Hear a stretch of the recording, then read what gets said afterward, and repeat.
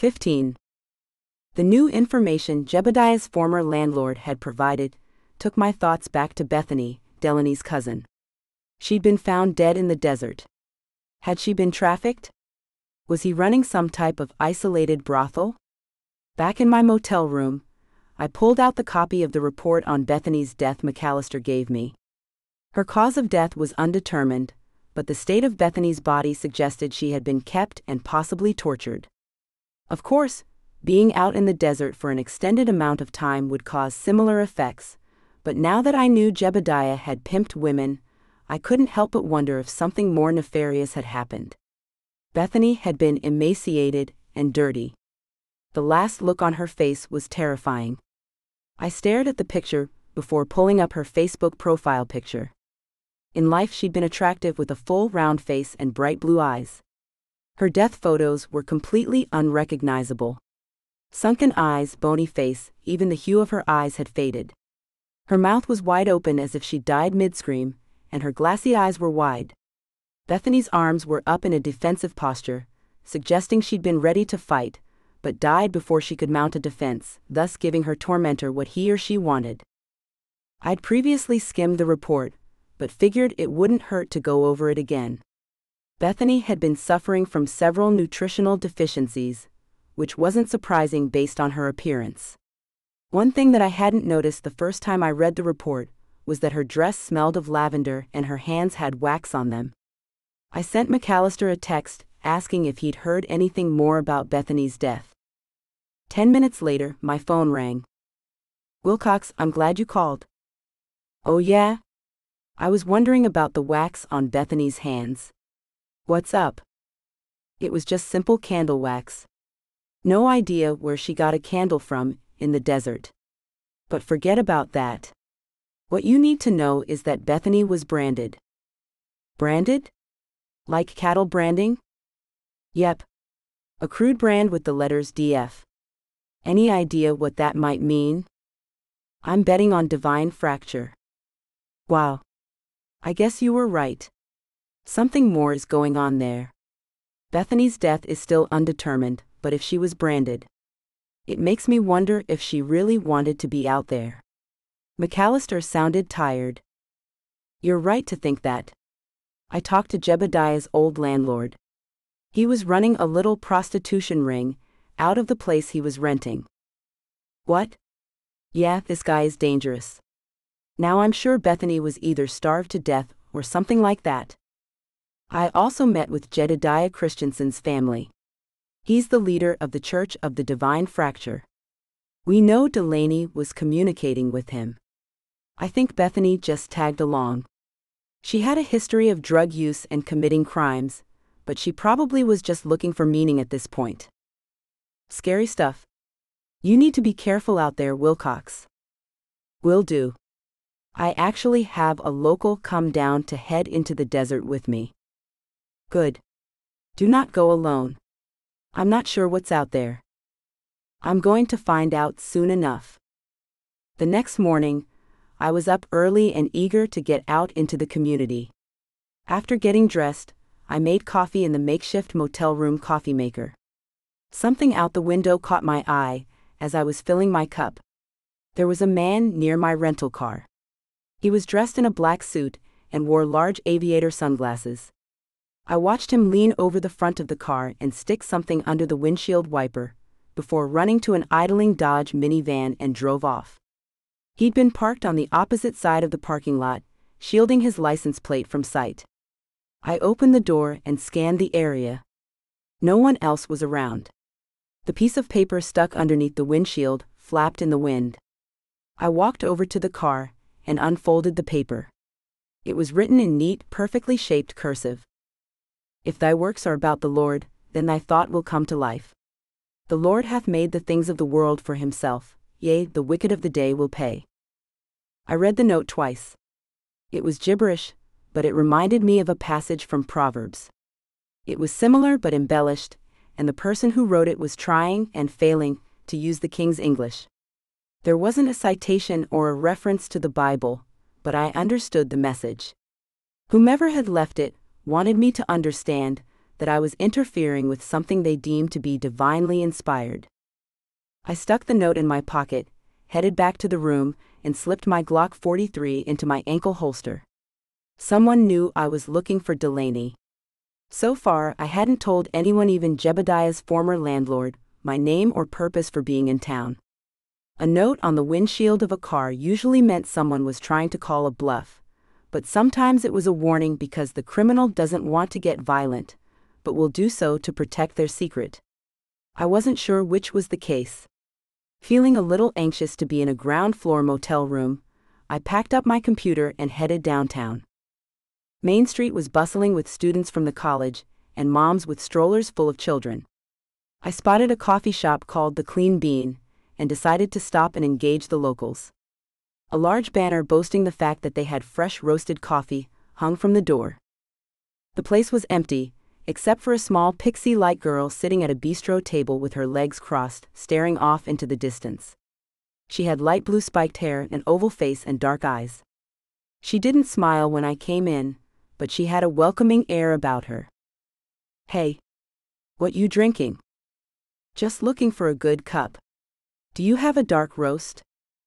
Sidamo, do you fine? Yeah. I love Sidamo. She moved behind the counter, dumped some beans into a grinder, filled a kettle with water, got it going, and set up a pour over coffee jar. I'm Lacey. My sister and brother in law own this place. It's one of the few coffee shops in town. Nice to meet you. I'm Sylvia. What brings you to town? she asked nonchalantly. I'm here for work. What's work? I am a financial advisor, I said, creating a profession for myself on the fly. Why this town? The boss sent me here. Wrong stop. Do you know anything about this place? No, I said, making sure that my voice sounded naive and innocent. Well, here's the thing. This isn't a place where you can just come and set up shop. There are rules and reasons why people don't come here unless they have to. Seems like a nice town, I said, hoping Lacey would be eager to chat. It's okay, and I'm sure you've heard that this place is growing like the rest of the state. Probably not a whole lot to do around here, I said. It depends on what you're looking for. If you like the desert and mountains, you'll never be bored. If you're more into cities, like I am, life is not going to be very exciting. That's why I want to get out of here. Oh, yeah. Yeah. I'm from Salt Lake. My parents sent me down here to live with my sister when I stopped going to church. They thought my sis was going to get me back on the straight and narrow. Well, turns out that our dear Molly Mormon had become a coffee guzzling granola. Surprise, right? Yeah, I'm sure that was a shock, I said, noticing how much a dividing line coffee was. So, outside of missing city life, are there other reasons why you don't like this town? Not really. It's nice for the most part. I just want to see the world and live life like a regular person, without everyone asking what ward I attend. Eager to stay away from bashing the dominant religion, I changed the subject. What do people do around here? They go to church, have church parties, and do church things. I laughed hoping that a playful but short giggle would alert Lacey that I didn't care about people being religious. No, really. What do people do here? My job is transferring me here, so this will be home soon. You can't go anywhere else? Nope. This is it. Hey, I heard a rumor that there were cults around here. Is that true? Her face changed from cynical to concerned. That's not a game around here. Should I be scared? I wouldn't say scared, but cautious. Some groups can be violent. Yeah, I've heard that is the case. Didn't think it was true. It's definitely true. You need to just stay away from that element. So, you and your sister live here? I said, changing the subject. And my brother in law, along with their four kids. I'm 12 years younger than my sis, so she's almost like a mom to me. You guys own this shop? Well, Donna and Lawrence own it.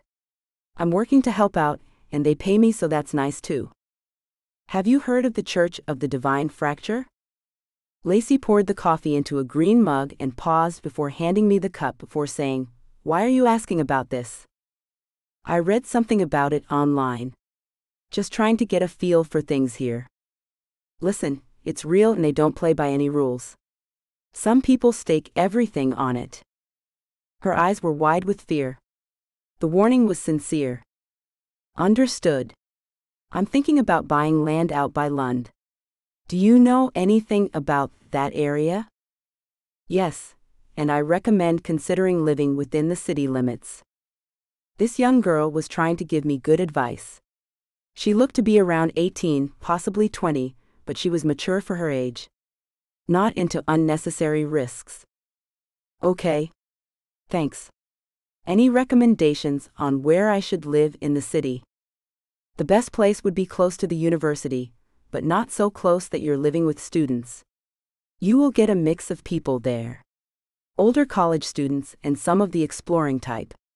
Rock climbers and hikers. Thanks. That's good to know. The other thing I would suggest is making this one of your stomping grounds. It's kind of a nice place for outsiders to hang out, not just because we need more customers, we do, but because after work and on the weekends we serve coffee, so that makes us a bit of a haven. So, people hang out here like they would in a bar? Kind of. It's like you need to find a crew, right? Okay. So the clean bean is the place to be. Obviously. I'm here, Lacey said, giggling like a schoolgirl. Well, I will definitely add this place to my Cedar City party file. Where are you from? Detroit. Whoa. Is that place as dangerous as they say? No, but the dangerous parts make a good show for news broadcasts. Good point. I like you. I'm glad you've chosen to move to our little city. So, financial planning is your gig, huh? Sounds like big bucks. Not bad. I'm only a few years in. That's part of the reason why I'm moving here. I need to get my own practice going here. This might not be the best place for you. Everyone knows everyone here. That might make it hard to get clientele. Maybe that will help me. I'll stand out and be different. Might attract business. Lacey laughed, You are such an optimist. I like it. Thanks. So, these groups that live out in the desert. What's the story there? I like four wheeling and want to head out and explore. Is it safe? Yeah, that's fine. Just don't go by yourself. Take a friend and stay away from anything that looks like a settlement. People live out there, but they're on their own. Kind of outside of the mainstream. That means they have their own little justice system. They feed themselves, provide water for their families, and keep the gun cabinet stocked. Keep your distance. So the cults are real? Lacey nodded. Anything else I should know? The desert is beautiful, but dangerous. 16. After the coffee shop, I headed to the library and spent the next several hours learning about the geography of the surrounding area. The Escalante Desert was a parched stretch of land, seeing less than 15 inches of rain a year. Lund was set up as a pit stop town for trains traveling between Salt Lake City and Los Angeles. I imagined that living in the area had always been harsh, and as soon as train travel declined, the town fell into a speedy decline. People that wanted to escape society could set up shop in the desert, or the mountains that headed to the Nevada state line, and no one would notice. It also would be hard for me to traverse those areas without a guide. There was no other way to find Delaney than to head into the desert and look. Feeling nervous and frustrated, I logged off the computer and headed back to the hotel. Martin called that late that afternoon with an update. How's Utah? Exciting and new. I filled Martin in on what I'd found out about Jebediah Bethany and the mysterious note on my windshield. Not very stealthy to place a note on someone's windshield in broad daylight. Unless you want the person to see you do it. Why would anyone want that? I'm here alone. Maybe they want me to know they have eyes and ears everywhere. Me, against a horde of people, isn't going to work out well. True. You want me to come out? At this point, I definitely needed someone else with me, but since Brady would hopefully be on his way soon, I told Martin not to worry about coming out. You need someone that knows the place. What happened to that one guy? Brady? He's going to try to come down in the next few days. I really hope he's able to. Good. I hope so too. I've got some stuff to report on my end that might help narrow the search a bit. This financial planner dude is oversharing in the forum. I think he's a good person to talk with. I love oversharers. What's he been talking about? Well, he's constantly looking for information about how to introduce the ideas of the cult to his wife. I did some digging, and the bits and pieces he's dropped about himself indicate that he is most likely Reese Larson. Based on what he's spewing. So tell me more about this Reese guy. He goes on the forum to promote his financial services. He goes by the username Crypto King, but he posts the number to his office in the comments. A quick Google search pulled up his financial services business. He owns it, so unless one of his employees is hawking his office, it's Reese Larson. I opened my laptop and typed in his name, along with City Cedar. The first result was a sharply dressed man with blonde hair, enormous arms, and a crooked smile. He looked like a used car salesman. Okay. This guy's office is right on Main Street. How convenient. I think a visit is in order. I'll be there first thing tomorrow morning. Have you found out anything else? Yes. The theology these folks are pushing goes something like this Jebediah can channel dead relatives and faith leaders from the past. He tells his followers that he's getting directives from these ancestors and leaders, and gives prophecies to the people. If you give enough money, you can get a private reading with Jebediah, and he will provide you with a window into your future.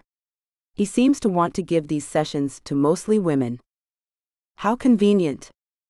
I could really use someone on the inside. What proof do you have that this crazy financial planner guy is the same as Reese Larson? There's a guy in the area that runs a financial planning agency named Reese Larson. His social media seems a little off. His posts are mostly about politics, but he mentions Lund a lot. He's always out exploring that particular area, which makes me wonder why he doesn't go elsewhere. It's pretty wide open around there, isn't it? You betcha. He could head to a new spot to explore daily and not run out of places to go. Give me a few examples of what you see in his social media posts. Mumbo jumbo about earthquakes and thunderstorms as apocalyptic events. Certain laws being the mark of the beast, and he seems to be really into dream analysis. He's running with a weird bunch.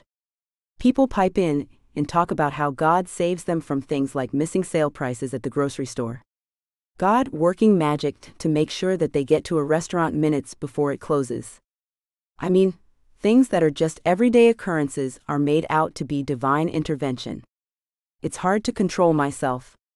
I want to tell them all to get help. That is extreme. I'm going to look up Reese and see if I can get an appointment.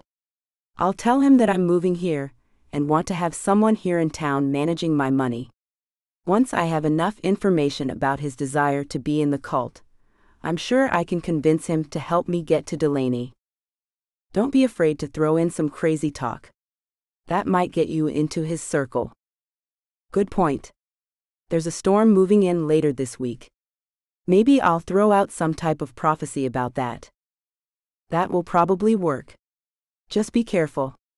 These people are not okay. How are things going at home? What else have you been up to? Mom thinks she might not want a divorce. Dad is considering whether he wants her back. It's a game. I know they will be back together in time. Well, I guess that's a good thing, right? Not really, but if it gets her out of my place, I'm all for it. Other than that, nothing's really happening here. Initially, I hadn't included Martin in the trip, but the more I thought about the expansive wilderness, the less confident I was that I could pull things off by myself. I was out of my element. I might need you to come out to Utah. Really? Yeah, I just want to get my bearings here and find out how extensive this operation is going to be. I'm ready. Nothing's happening until August for me. Thanks for being open. I will let you know. Cool. I'll send you some screenshots of the conversations the guy that first think is Reese has been having in the forum. Great. That'll help me prepare. Stay safe and I'll talk with you soon. The screenshots Martin sent were full of fear, anxiety, and illogical connections. Collective consciousness was the tool Reese claimed to have used to build his business, and he included an extensive explanation on his website. In between mystical musings was a mix of cute family photos, pictures of him posing and flexing his muscles, and religious and political rantings. Reese's eyes were bright and wide. His smile stretched across thin lips. Get the best. Ignore the rest. His headline read I wrote down the office address and mapped out directions. After that, I reviewed Jebediah's address history again. Sometimes the algorithm throws names together because they lived under the same roof because it thinks the person is relative. But this time the only names were Jeb's siblings and parents. I typed in the address of the rental in Cedar City and scrolled through the results. Since it was a rental in a college town, the number of people who'd called the bungalow home was extensive. I scrolled through until I found a listening for a man named William Steen. His name caught my eye because he was listed as being 32. Based on the year that he'd lived at the rental, he'd been 29 when he moved it. It fit the profile of a renter who wasn't a student. I copied his name and did a search for more information. William Steen had several social media accounts, and at one time, he'd been a prolific poster. And like many who share all their precious and mundane moments with the world, he hadn't enabled the majority of the security functions. He was tall and thin with hazel eyes. At one time, he had curly shoulder length hair, but as I zoomed in on his face, I recognized him as the man who had placed the note underneath my windshield.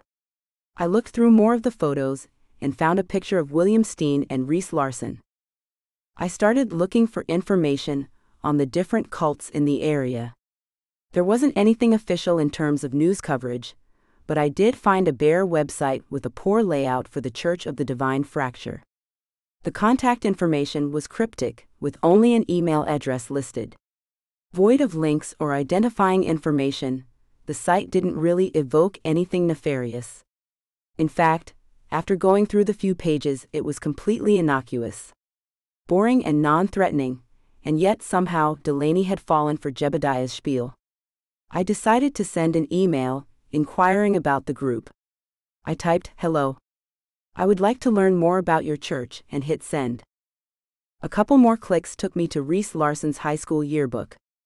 A large spread showed him in a football uniform during homecoming. He also had a page of his own that detailed his plans for after high school. The girl standing next to him in one photo was a younger version of the woman from the picture on his website. A few more results revealed his resume, where I learned that he had served a mission in Mexico. He'd also worked as a financial planner for a national firm for two years before opening his own business. Plenty of things to talk about with Reese, I thought. My eyes were tired, and it was getting late. I decided to turn in and get a fresh start the next day. It felt like I'd just drifted off to sleep when my phone buzzed on the nightstand next to the bed. I'll be there before noon. It was Brady. Great. I'm going to drop in on a guy who has ties with Jebediah, so I might be there when you get here. I'll text you the address of the motel where I'm staying. Let's make a plan to meet for lunch at the Clean Bean on Main. Okay. See you soon. It was only half past six. The temptation to sleep for a few more hours passed once I remembered I would be meeting with Reese that morning. I needed to be ready, which meant adrenaline was my friend, not sleep. I got up, threw on sweats and a t shirt, and went for a run. The red rock scenery made it hard to focus. My eyes kept wandering from the road where I was running, so I kept it short and was back at my room in half an hour. I showered, brewed a cup of coffee, and put on a dark blue pantsuit and cream dress shirt. I stood in the mirror and began a familiar conversation with myself. Hi, I just moved to the area and I'd like to talk with you about options for my financial future, I said, practicing my spiel. You'll need a job. One that makes decent money. What's your career today? From what I'd read, the economy in Utah was great and the real estate market was red hot. Nice to meet you, Mr. Larson. I am a real estate agent. My name is Sarah Winters. He'd likely ask me why I was moving to Cedar City. I thought about my morning run. What brings me to Cedar City? Oh, I just love the red rock around here, and I want to be close to the national parks. It was cheaper to live here than in St. George, so here I am. I waited until 9:15 to head out. 10 minutes later, I pulled up in front of the bright yellow building that stood out like a sore thumb. The stucco and odd shape didn't fit in with the historic structures that occupied the rest of the block. I was surprised to find that Reese's office took up most of the first floor. The only other business was a title company. I opened the shiny glass door of Reese's office. Regardless of Reese's strange social media presence, his business must be doing well. The place was filled with upscale decor.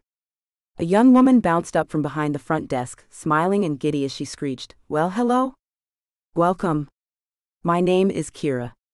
What brings you in today? I am in need of a financial planner. I'm in the process of moving to this area, and I want to get things in order as soon as possible. Oh, that's great. Where are you moving from? Michigan. Wow. That's quite a move. What brings you to this area? I'm a real estate agent. Utah is a hot market, and Michigan is a dead market. It's also beautiful here. Kira pulled a stack of forms from the counter and started jotting down information. Oh my gosh, you're going to love Cedar City. This place is perfect. It has everything you could ever want. My whole family lives here, and we just absolutely couldn't imagine living anywhere else. So far, I can see that the place is stunningly beautiful, and everyone has been so friendly. That's Utah. We're wholesome and welcoming. Thanks for coming here. What's your name? Sylvia, I said, knowing enough about customer service etiquette that she wouldn't ask for a last name yet. It's so great to meet you. Kira's level of excitement was a bit much. Her arms flailed in between pen strokes, and the short brown ponytail in the back of her head swung back and forth with each head gyration. I looked up this place and wanted to know if Mr. Larson had any room on his calendar this morning. She looked at the calendar. Um, he might be booked, but he has two other agents coming in at 10 and noon if you want to schedule with them. I smiled. Reese Larson was recommended to me by a close friend. If he's not available, I'll probably just go with one of the other recommendations. He's number one, but if I can't see him. Oh. You know what? I bet he can squeeze you in.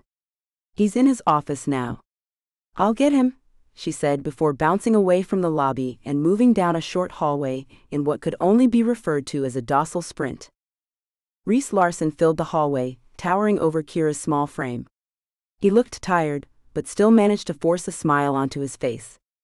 He had a small sharp nose, a bronze artificial tan, and large blue eyes. His hair, blonde and thin, fell in loose curls, touching the collar of his. The blue shirt he wore was starched, giving it a cardboard look. The first three buttons of the shirt were undone, revealing the beginnings of a smooth, shaved chest. His biceps stretched the fabric of his shirt, and a ring of pooled sweat in his armpit was revealed when he reached out for a handshake. Hi, Sarah, so, I hear you looking for someone to manage your portfolio? Well, you've come to the right place. Reese Larson. Pleased to meet you. I put my hand in his and braced myself for the hard, jerking handshake I knew was coming. Thank you for taking the time to talk with me. I am moving to Cedar City, and I'm looking for a financial planner who is local. Come on back to the office, Reese said, motioning for me to follow him. Cedar City is like no other place in the world. You're going to love it here. Where are you moving from? Michigan. Oh, yeah, you're going to love this place. Slower go, but such a wonderful place to raise a family. Husband? Deceased. Oh, oh. I'm so sorry. On the bright side, we do have a lot of eligible bachelors in this town, and we love getting married and having babies. But anyway, back to the planning. So, let's talk about some of your financial goals. Actually, before we do that, I want to let you know that we've got a ground floor opportunity. You can invest in an energy company that runs a few local potash mines. Since you're moving here, I'll give you a sweet deal on the buy in. You can expect a 10% return year over year. That sounds interesting. Tell me more. I knew the scam well. The financial planner sat behind his desk explaining how he could help me get a 10% return on my money, year over year. I listened, nodded my head, and arched my eyebrows at the appropriate times. Without asking if I had any questions, he whipped out a contract and showed me the different places I needed to sign. I continued to nod and crinkle my brow to show how interested I was. We've had great success with energy futures and real estate. Here's information about the companies you can invest in, Reese said, sliding a white folder across the desk to me. Thank you. So, I'm doing most of the talking. Let me shut up and let you tell me what you're interested in. I made sure that the folder was pulled tight to my chest before I said, What can you tell me about the Church of the Divine Fracture? Reese's cheeks turned red. I'm not sure I know what you're talking about. Come on, Reese. You don't want Julia to find out that you're considering moving the family to a cult in the desert the wrong way. Julia, who are you? What can you tell me about the Church of the Divine Fracture? I don't have much time. Start talking. He shook his head. I don't have any information about that. It's just something I saw online. What are you, FBI? That was a strange question. What was the Church of the Divine Fracture up to in the desert? Deciding to play my cards carefully, I said, Tell me what I want to know and you won't have any problems. Reese pushed away from his desk and stood up. I am not in that church. I got to church here in town. Don't know what you're talking about. Are you planning on taking Julia to the little thing Jebediah is having in the desert? Is it a festival or a revival? Reese sat down and ran his hands through his hair. Okay. Here's the thing. I'm not a member of that church, or whatever it is. Actually, we should call it a faith group or something like that. Anyway, I'm not a part of it for spiritual reasons. I just like a good message, you know? I go there for enlightenment. Have you heard about collective consciousness? There's like a common brain full of all the wisdom of the ages and Jeb has tapped into it. Tapping into a higher power sounds like a church. I think he's just using that title to attract people. What he's actually talking about are the visions he has community empowerment, living a good, clean life, and making investments to shield yourself from the collapse of the government. He knows things that no normal person could know. So I just listen and learn. That's it. You should check out his message. It's all positive stuff. No guilt or punishment for natural impulses. Jeb is just getting messages from ancestors and source. He uses his powers to help people live their best lives. I'm just there to acquire knowledge and learn how to protect myself. Where does he hold these sessions? By Lund. There are some old structures out there that he's repurposed. It's free out there. No one snooping around. He's building a fantastic setup, and it will be the only place that's safe when, you won't believe it, so I'm not going to get into it. I'm listening. What is the point of this settlement? Something is right around the corner, and Jeb is going to lead the righteous. You have to be a part of the settlement before Source comes, or else you could be lost. We need to build the kingdom here on earth and have it ready for the Savior. If we do that, we will live in paradise forever. When is this supposed to happen? Only Jebediah knows that. I'm looking for a woman named Delaney. Don't know her. How about a lady named Bethany? She was found dead in the desert right outside of Lund, where you say these meetings take place for the church that you say isn't a church. I told you. I just go for the lessons. A woman died. Her cause of death hasn't been determined yet, but the fact she was out there tells us that her demise was, let's just say, sped along. She was skin and bones, terrified look on her face, and an anonymous tip was used to report her location. Was that you, Reese? No way. I don't have anything to do with dead bodies. Okay, but someone does. Who knew about the body? I don't know. I don't have time to waste. What happened to Bethany? I swear. Think about Julia. I know someone told the police, but they did it in a roundabout way. Tells me they wanted to do the right thing, but they have their own secrets. If their dirt has nothing to do with Delaney or Bethany, I don't care. Do you understand? Reese sighed and ran his hands through his hair. There's someone that sets up shop around Lund. She lives by herself, and doesn't bother anyone. I'm sure you already know her name is Clem, but she goes by Priscilla, and if you could leave her alone, that would be great. I had no idea who Clem was, but Reese certainly thought I was familiar with that person. How long has Clem been living in the desert?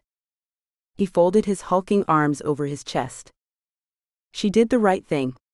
Got the message to the police. Why bother her? Don't you have some illegals or drug dealers to bust? What I have is one missing woman, and another one is dead. You tell me what I need to know, and you won't have to worry about anything. Same for Clem. I just want to know about Delaney Whitby and Bethany Price. Where can I find Clem? Around Lund. It's a big desert. Old Airstream trailer from the 1950s or 60s.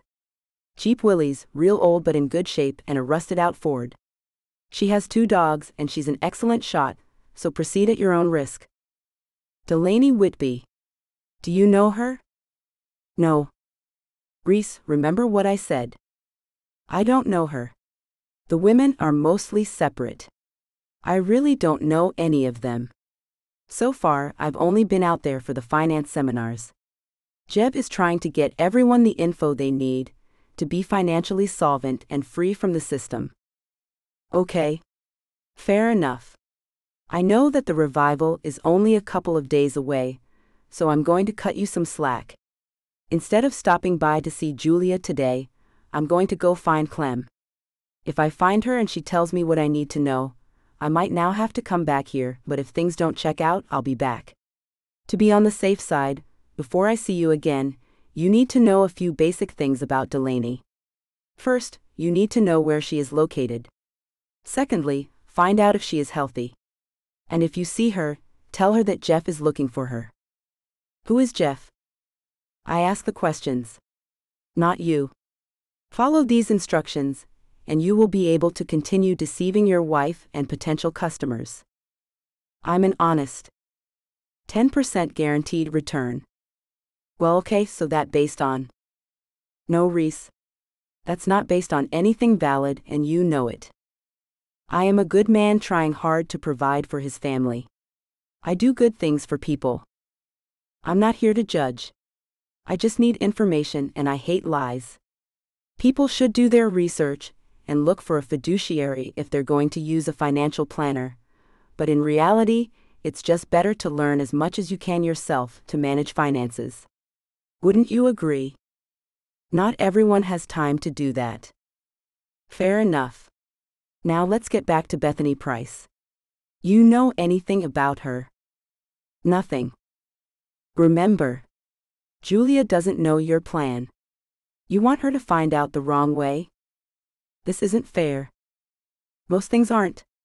What do you know about the body? Reside. There are people who live the desert. They don't bother anyone. I don't feel like being the person that puts a spotlight on them.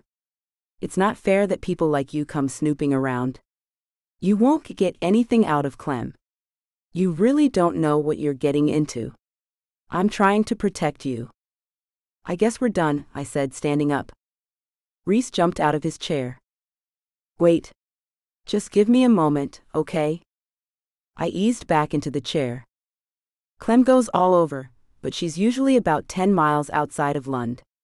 You come to the silos and turn off the Lund Highway onto an old service road. She likes to be near the hot pots, so you'll have to look all around that area. She keeps moving. I can't say exactly where she'll be because I don't know. Thanks, I said, standing up to leave.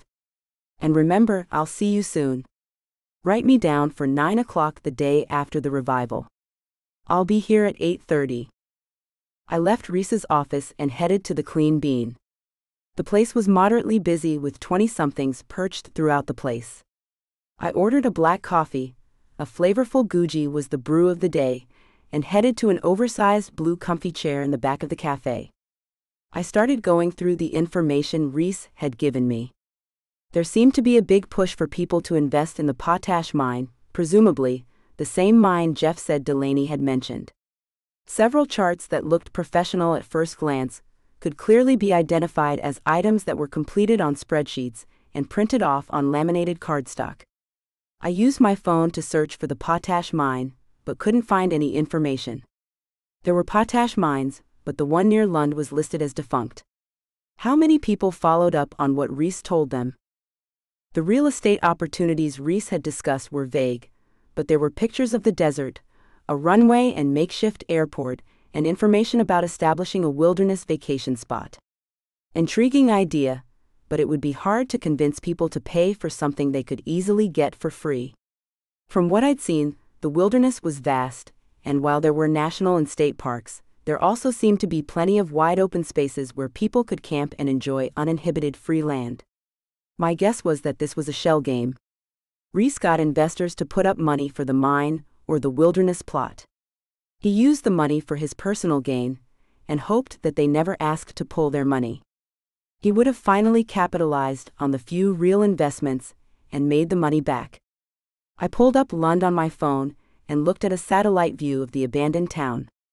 It actually seemed to be a popular spot for exploration, and while there was officially zero population in the area, I could see the structures off in the distance. Brady called while I was looking at the satellite images of Lund. I just got off the highway. Where are you? I already made it to the clean bean. Come on up. I headed to the counter and got a cup of coffee for Brady. He showed up a few minutes later, sliding into the chair next to where I was sitting. Got you a coffee. Thanks. How was the meeting? Fruitful. I decided to just get to the point and ask him about the Church of the Divine Fracture. He tried to deny knowing anything about it, but when I threatened to tell his wife what was going on, he changed his tune. He also told me who found Bethany's body. That's good. Who are we looking for? Her name's Clem. Brady took a sip of his coffee, sat it down, and titled his head. Clem. Ties to Tooele? I shrugged. Not sure. Is she on the run? Possibly. Reese assumed I knew who she was. He pulled out his phone and ran his fingers across the screen, typing a string of words into Google. Yep. I thought that was where I'd heard that name. You know who we're looking for? I think so. But we're not the only ones looking for Clem. He handed me his phone. Federal employee goes rogue burns down house. In recent months, Clementine Robertson's husband says that she has been acting paranoid and sacred. She felt like someone was after her, and when he gave her an ultimatum to get help, she burned down the house. Clem was normal and then she wasn't. It happened so fast. Harry Robertson said. His observations seemed to be accurate. Clem quit her job, and started attending the meetings of a fringe group in the Tooele area. Now the FBI and local police are looking for her. So she's got a secret. A big one.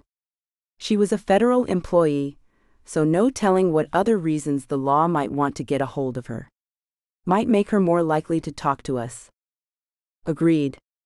We also might be able to find the Church of the Divine Fracture location too. If Reese is familiar with her, I bet that means the group is close to areas where Clem usually hangs out. Where's the encampment? Close to Lund. There's a lot of land out there. Do you know where the hot pots are located? Which ones? There used to be a lot in this area. Some have dried up, but there's still quite a few. He mentioned that Clem is usually about 10 miles outside of town. He said turn off the road at the silos. All right. We've got a landmark. What else did he tell you?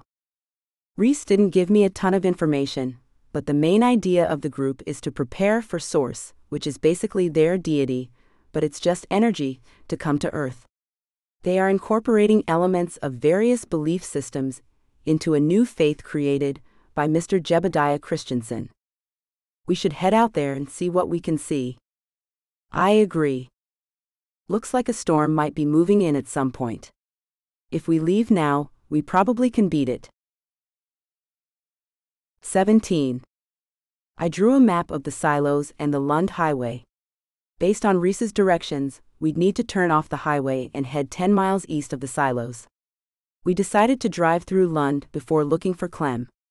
There was a chance the Church of the Divine Fracture was using the dilapidated structures in the ghost town. A heavy cloud hung a few miles beyond the town. I looked out across the emptiness, feeling a tinge of worry creeping into my mind. We'll need to get in and out before the storm moves in. If we're still out here when it rains, we might get caught in the clay, but don't worry. I've been in this situation before. The Jeep won't make it out? Maybe, but probably not. The desert turns to mud when it gets soaked. The Jeep will get stuck just like anything else, and we'll have to wait out the storm. I had no desire to spend the evening in Lund, but the desert was intriguing. What would we find if we drove out deeper into the void? The Lund Highway began in Cedar City, stretching out beyond the farms and eventually emptying out into the wilderness. The road was paved, presumably with the idea that this thoroughfare would one day become a main artery, but it was clear the highway wasn't traversed often. The sun was shining overhead, but an ominous gray sky was off in the distance. Unaccustomed to riding in a jeep, I was feeling a bit flustered by the wind whipping against my face. The vast emptiness, and the hard bumps of the ride were foreign to me. The clouds aren't in front of us, so I think we'll be good for a while. Don't worry. I'm not worried. Your forehead is crinkled. You wouldn't know that if your eyes are on the road. Never been in a Jeep? What is this? 20 questions. Brady laughed and mashed the accelerator. I've been out here a few times. My sister and I used to visit ghost towns together. This place was pretty well preserved the last time I was out here, but that was years ago. People would come out here and do drugs or squat around the place. We'll drive through Lund first. If we don't find anything, we'll head further beyond the railroad tracks. I nodded, consumed with scenery. Utah's desert was harsh and full of secrets. The hard packed, inhospitable terrain didn't yield much in the way of vegetation. Initially, I'd felt like I might not need anyone else to come with me into the desert, but as Brady and I approached Lund, I was glad I wasn't alone. I'd read about the area and looked up images, but nothing had prepared me for what it actually looked like. The town, which sprang up in the Escalante Valley after the railroad added a stop, had never had more than 200 residents. The harshness of the elements made it little more than a pit stop for those headed to California. Residents tried to set up farms, but Lund didn't receive much rain, and the wind and hot temps killed the crops. All the farms failed, and according to the searches I'd conducted, it was a ghost town, with a few exceptions. How many people live out here? Not sure. Probably more than we think. Some live in groups, but others are just out here living off grid by themselves. We continued out of the ghost town. The vast expanse of the desert opened up before us, and the landscape before us looked bare, but about 10 miles outside of Lund, structures came into view. There are the silos, Brady said. All right. Into the unknown we go. He turned off the main road. The Jeep tackled the steep inclines and rocky terrain. It was a bumpy ride, but 20 minutes later, an Airstream Jeep Willys and a rusted out F 150 came appeared. As we close in on the trailer, the door of the Airstream swung open and a woman with a rifle stepped out. I think we're about to meet Clem, I said. Be ready, Brady said, nodding at the glove box. I'm ready. She's not going to want to talk to us. No, she won't, but it will be better to talk to us than official law enforcement officers. Brady killed the engine. I stood up inside of the Jeep. We don't mean you no harm. Just passing through. We need your help. I ain't got no help for nobody, she yelled back. Clem, I yelled. We just have a few questions. We're not police or federal agents. I heard about you from Reese Larson. She lowered her gun. Brady eased back behind the wheel of the Jeep and drove closer. Two dogs came bounding out of the trailer, teeth bared. Bennett. Milo. Clem yelled, silencing the dogs. What do you want? Clem asked. You found a body a couple of months ago. I called from the Jeep. I don't know what you're talking about. She has a family. Husband and kids. That ain't my problem. Nope. It isn't, but you cared enough to make sure she was found. That's risky. The police probably have been out here a few times. That's not good for someone like you, Clem. I climbed out of the Jeep and walked towards Clem with my hands out by my sides. Just because I live a different life doesn't mean I don't know right from wrong. I know. That's why I'm here. They say that girl died of starvation or the elements. Maybe, but someone had her out here. Did you know she was branded? Clem turned away. She's from Michigan. Never been to the desert before. Something or someone lured her out here. How do you know she didn't come willingly? I think she did. I just don't think she knew what she was getting into. Clem motioned for me to come closer. You don't belong out here. Who are you? Someone who cares about right and wrong. Who is he? Clem asked, pointing at the Jeep. Just my driver. Can we talk to you? You already talking. Clem had sun-bleached hair streaked with gray and a weather-worn face. She was fit and looked ready for battle. What have you seen out here? Too big of a question. Okay, I'm looking for a woman. Not the dead one, but her cousin. She'd got brown hair, thin, and she probably arrived about a week or two ago. I see lots of women. Out here. Where? This was a town once. There are structures. Some nights I see fires burning inside. In the ruins? Yep. It's a cheap and efficient way to live out here. Get a trailer to start. Even an RV can be a little too expensive to go that route. You just repurpose the stuff the world calls junk. Are there a lot of people out here? At night, there are quite a few. Mostly women. Some loudmouth preacher rules over them. He's using that area out there. Clem pointed off in the distance. Some people from the city come out to hear him speak. They call themselves a church, but they don't believe in what most churches do. Some mumble jumble about the loudmouth preacher being reincarnated. He claims to be able to tap into collective consciousness. According to him, he can read mind and everything. That's all I know. What happened the day you found Bethany? Nothing special. I was headed to the hot pots. I go there when I want a hot shower. Dip the water out and let it cool. So freeing out there where no one is looking. Do you go every day? No. Once a week. She wasn't here one week, but she was here the next. End of story. It was too short of an explanation. Clem's eyes were circling the desert, avoiding my gaze. She has a family. They want closure. Okay. Fine. There was a necklace or something scattered around her. I thought it was valuable, but when I got it back to the trailer, I saw something that made me throw it out. What did you see? It had some type of electronic parts. What was it? Don't know. I don't do electronics. Where did you throw it away? Threw it out of the window on my drive to, never mind where I was driving. What did this necklace look like? Fake diamonds. Some type of wiring. I wasn't sure what she was talking about, but I imagined neither did she. Based on Clem's situation, I believe she had completely shunned technology. Have you heard any violent messages during the revivals? Clem nodded. Sometimes. This guy seems to be creating his own faith, but it mostly sounds like stuff you'd read in the Bible. He just adds in his own twists to things. Any examples you can think of? I remember hearing something about the leader's thoughts always being righteous. We headed back through Lund.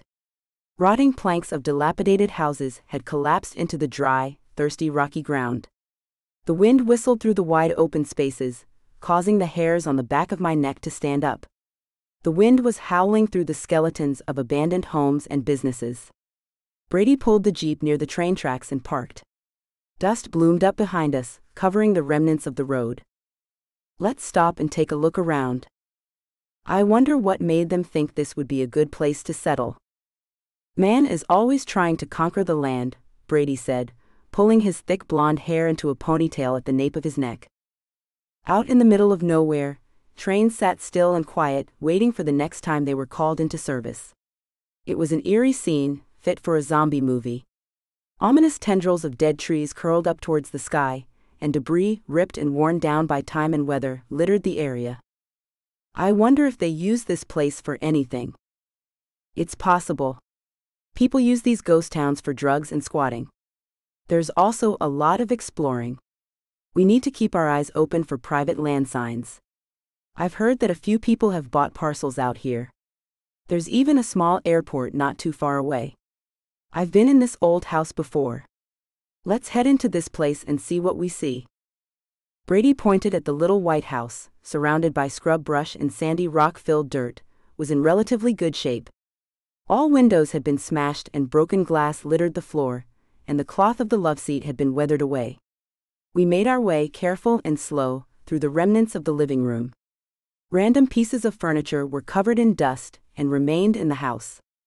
Springs were exposed in a faded rose colored love seat, weathered by the harsh desert winds. The ceiling was starting to bow in the middle, and graffiti artists had scrawled pictures and words on the side of the house. The name of a recent band was scrawled across the back wall in the kitchen, alerting us that recent visitors had been in the house. Okay, so we know that kids have been here recently. Do you think anyone else is using this area? Yeah, I think those trailers might belong to someone and be in use. My guess is that any group or off gridders living out here have a main setup not too far from here. A few trailers sat in the field behind the house, laying on their sides, but in the distance I saw newer trailers. They looked to be in good shape, and I wondered if we'd be trespassing if we headed towards them. Why would they want to be close to this place? It's a dead town. Yeah, but if you want to save on things, you can look for stuff to repurpose. Like you said, these people just got up and left. I'm sure there were some useful things here that were repurposed. I don't know, but I can tell that someone has been here recently. It's pretty secluded. This would also be a good place to discipline those that stray. Discipline? Are you thinking something like torture? Do you think that's in play? I think this guy has them brainwashed, but I doubt he's torturing them. What happens if they disobey? Just a thought. If he wanted to do something like that, this would be the place. I was going to brush off the idea, but the streak of blood on a piece of broken glass told me that Brady might be right.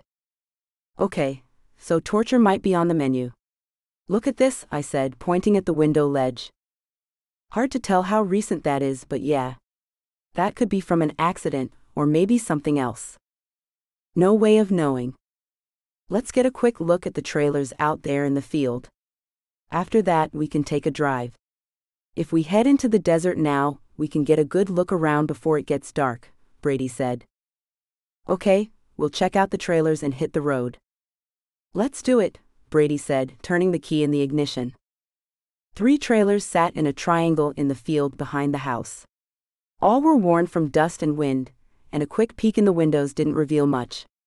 All had dated decor, but none were worn or destroyed, which meant that they probably were placed in Lund within the last few years. We hadn't seen no trespassing signs, but unlike the older structures, no one had broken into the trailers. Maybe everyone in the area knew whom the trailers belonged to. Let's get away from here. Nothing's been touched, which makes me think this is private land. No sign, but you're right. We climbed into the Jeep and headed down the dusty trail.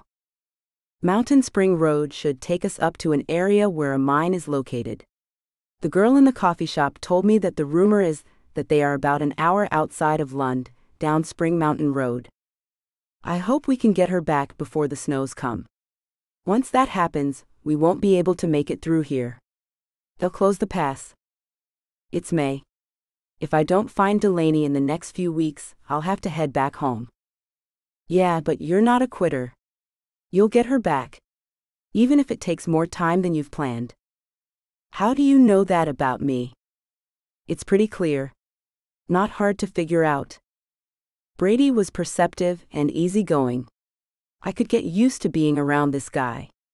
I wasn't sure why he was putting himself in harm's way for my case, but I really appreciated having him by my side.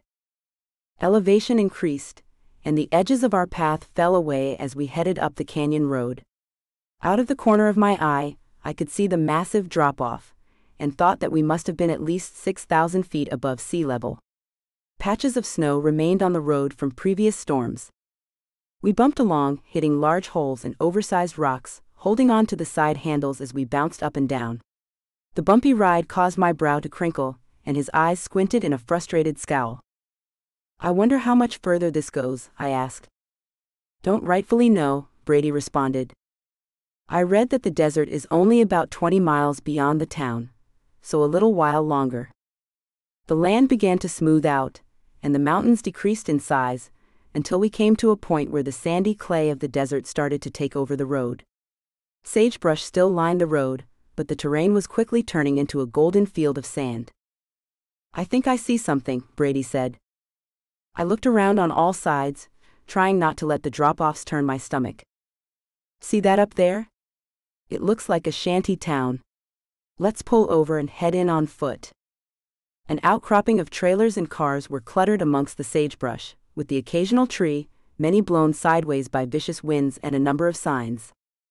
Well, look at that, Brady said, pointing to a sign that said, Church of the Divine Fracture.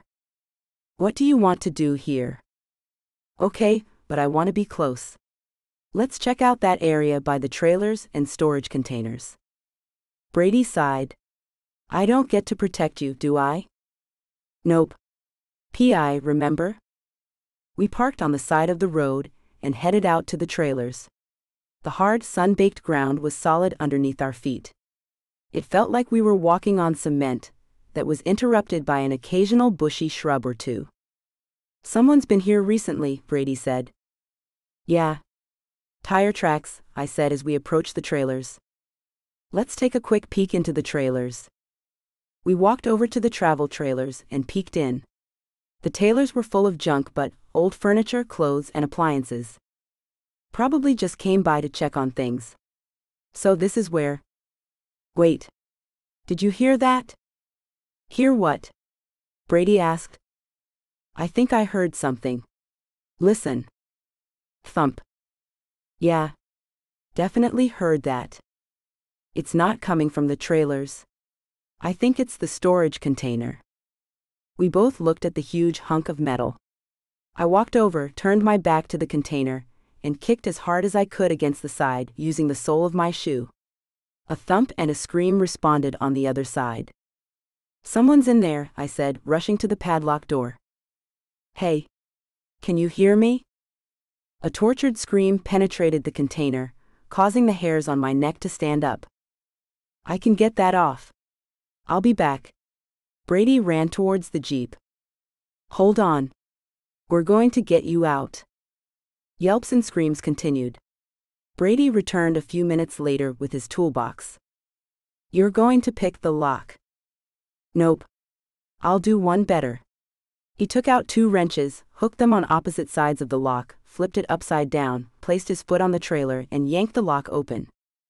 As I pulled open the door, a woman dressed in a long prairie dress fell out of the storage container. Her face had scratches and bruises, and she tripped over the long dress as she tried to scramble to her feet. Help me. Please help me. I tried to help her up, but she curled her fingers into claws and swatted me away. The woman fell and rushed through the scrub brush and sand on all fours. I ran after her. You're okay. We're going to get you out of here. The woman rushed away from me, and her painful yelps caused my heart to quicken. She grabbed swaths of her dress, holding it high above her ankles, running and falling as she progressed. Please help. Please, the woman panted. The woman went crashing to the ground again. This time I grabbed hold of her arm and kept her on the ground. Stop. We're going to help you. Our jeep is right over there. Okay. I said. Her battered face crumbled into tears. You're safe. Let's get to the Jeep first. I've got one good arm. Let me help get her to the Jeep, Brady said, catching up with us and lugging the toolbox in one hand. We balanced the thin woman between us and helped her to the Jeep. She climbed inside, sat in the back, and immediately started rocking back and forth. Brady and I looked at one another, acknowledging that she'd been traumatized. We're going to help you, okay? The woman continued rocking, her eyes staring far off into the distance. Let's get out of here, Brady said. The woman remained quiet in the back of the Jeep during the drive. I gave her a bottle of water, which she sucked down in a few minutes. Do you need a doctor?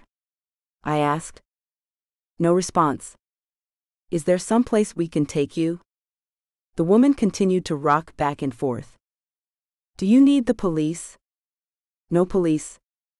Don't worry. We won't take you there. I have a hotel room. You can get cleaned up there, and we'll figure out what to do next. Is that okay? I wasn't sure, but it looked like she may have nodded. She confirmed her consent when she got out of the Jeep at the motel and followed me to my room. What's your name? I asked. My question was met with a blank stare. You're safe. I promise I won't let anyone hurt you. She wrapped her arms around her waist. I'm Sylvia, and I'm looking for Delaney Whitby. I think she might be with a man named Jebediah. The woman's eyes lit up. How long were you out there? I don't know. We can't have phones or watches. Why were you in there? Punishment. I wasn't even bad, she said before crumbling into a loud sob. Who put you in the container? Brady asked. I can't say. Is his name Jebediah? The woman ignored the question but went on to say, I'm lucky. You're safe now. Let's get inside. You can get cleaned up. We'll go get food and clothes for you. She hesitated, but eventually followed us into the motel. I booked the room across from mine for the woman. You know about us, the woman said once we were in the room. Yes? How? Delaney's husband asked me to bring her home. Do you know her? Silence. Is she in trouble? Still nothing. Maybe we should head to the police. Delaney is listed as a missing person. You can tell them what you know. No. No. I'll talk. Just no police. Is Delaney safe? I don't know. But you know her? Yes. When was the last time you saw her? A few days ago. We tried to leave. Delaney wants to leave? Yes. Great. At least the trip had not been in vain. Now I just needed to find her. I'm Loretta. Can I have more water? Brady grabbed a water bottle from the small refrigerator in the corner of the room. Thank you, she said, taking the bottle. Nice to meet you, Loretta. So, you're a part of the same group as Delaney? We're not a group. We're chosen. Chosen for what? To pave the way for the Savior, Source. I nodded.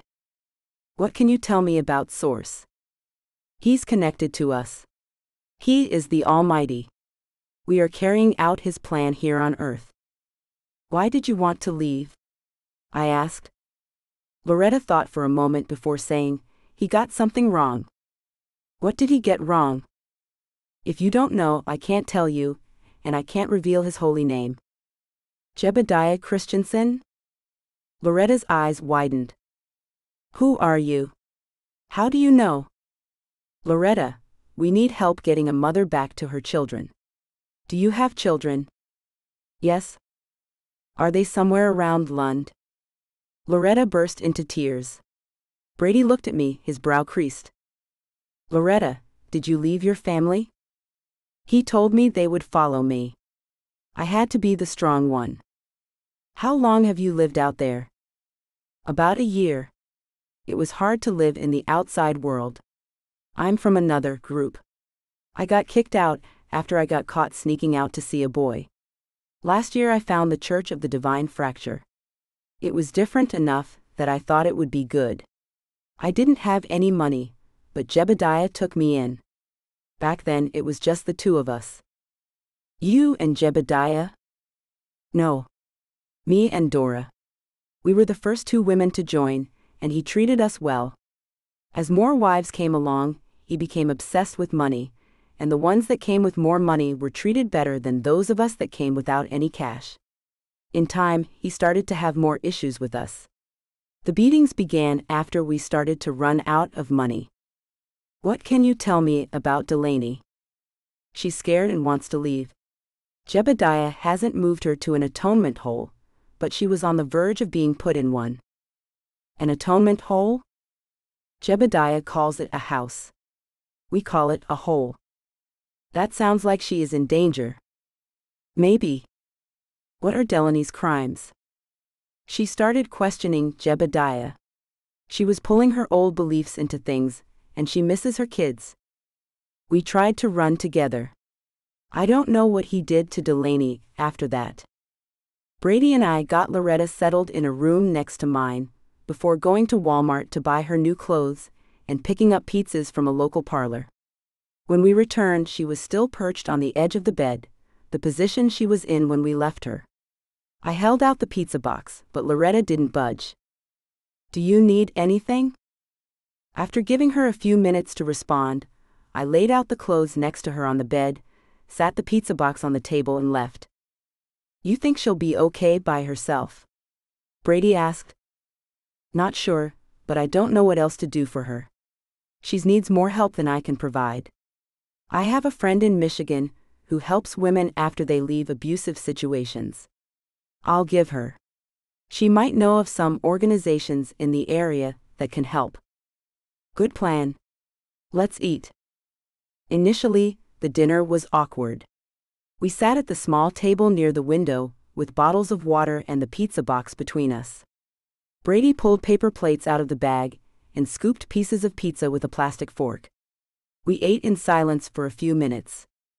Should we look for Loretta's family? Brady asked. That's a good question.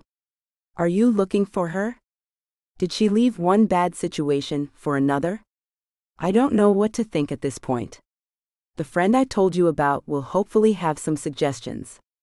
We don't know why Loretta was out there in the desert, or why she was in a storage container.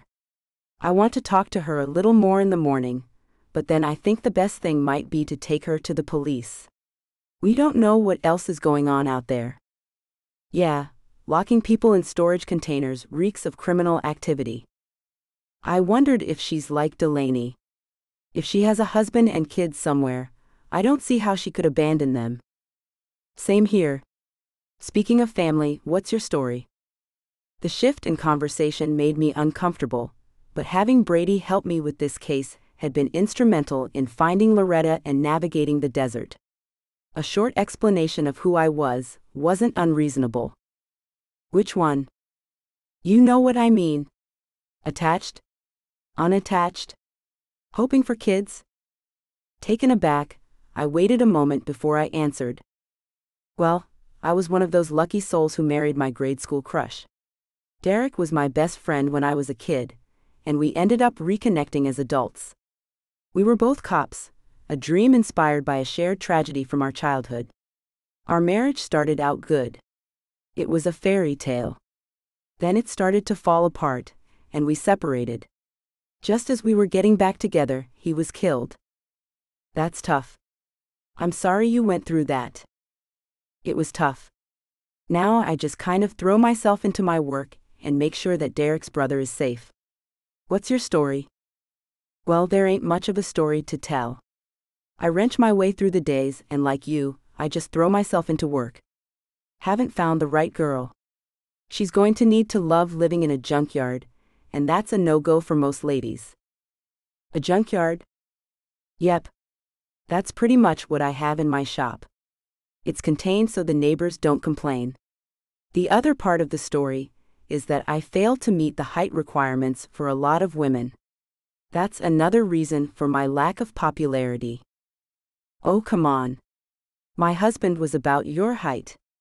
Much to my dismay, girls loved him. Things must be different in your part of the world. Maybe. Speaking of which, thank you so much for your help. I thought I'd just tackle whatever came my way, but it really has been great to have you along for the ride. What made you decide to help me? Brady took a sip of his water and shrugged his shoulders. You came to my place. Said you needed help and I was able to help, so I'm here. What about work? I own the shop. The guys I have working for me are solid. I can trust them to take care of things for a short while. I really appreciate what you're doing. I'd be lost without you. Strong words that I couldn't take back. I instantly regretted the statement, but it was true. Hopefully, Brady took it the way I meant it. But how did I mean it? For a moment, I wondered if I wanted him to see more in the comment. It's nothing. Our eyes locked. Brady held my gaze for what felt like hours. I eventually looked away. So, what made you become a private investigator? The question brought me back to reality. My twin brother disappeared when I was 10. I was there when it happened. We were playing at the end of this dead end street that was in front of a transfer station, and he vanished. There was all this overgrow, fruit trees, long grass, stuff like that. My brother Simon went in, and I didn't follow because I was sacred. That was the last time I saw him. I'm sorry, Brady said. I nodded. Thanks. Tomorrow we'll head back there, but we need to get up early and get Loretta settled. Better get to bed. I pushed the chair back from the table and stood up. Telling Simon's story always drained me. You're right. I'll see you in the morning. I put the rest of the pizza in the small refrigerator while Brady left. When he was gone, I walked over to the full length mirror on the back of the bathroom door and smiled. Brady was nice. It had been a long time since I'd felt anything for a man, but he was so warm and easy to be with. But that was not on the agenda. No. That's not why you're here. Do the job and go home. 18. I was up and dressed by 7 the next morning. I called Martin and left a message about finding Loretta. After that, I called Madeline Price. What can I do for you, Mrs. Wilcox? Madeline Price didn't sound happy to hear from me. Our paths had crossed years before when I was investigating one of her acquaintances' death, and I'd been forced to dig through the intensely private woman's life. Madeline. It's Sylvia Wilcox. Surely you know that I have your number saved, right? I'm crazy for answering, but I'm curious why you're calling me. I'm in Utah. Um, congrats on the vacation? She surprised me with a friendly chuckle. I'm just kidding. I know you better than that. What do you need? I'm here on a case. A bunch of women are being held in the desert, some in storage containers with padlocks on the doors. They're in a cult. Madeline was quiet. She was passionate about helping women and children get out of abusive situations. How many women? I don't know, a lot, I think. One of them was in a storage container. I got her out, but now I don't know what to do. Should I call the police? What did the woman tell you happened to her? If a crime has been committed, you probably should call the police. She didn't tell me much. I'm sure there are some crimes being committed, but I don't know that there is enough proof to bring the police in.